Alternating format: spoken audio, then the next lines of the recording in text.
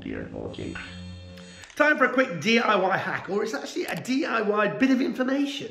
You might have heard of something called lath and plaster walls, but what exactly are they? Well, they are something that they used to make a lot of the walls and ceilings in older properties from. But here in this property that I'm doing up, it's, it's a perfect example and a chance to show you what lath and plaster actually is. And that is it.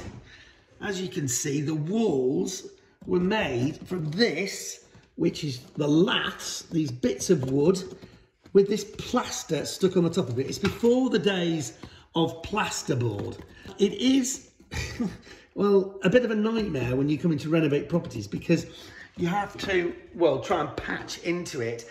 And it, certainly if you're trying to screw into it, if you're trying to cut into it, especially in the ceilings, if you're doing things like putting in uh, recessed lighting or stuff like that, it's a bit of a nightmare, which is why you end up more often than not doing what we've done here, which is re-plasterboarding the ceiling rather than trying to patch up or drill into lath and plaster. So if you've got lath and plaster, your top tip and your DIY hack is to not mess about, put new plasterboard over the top of it.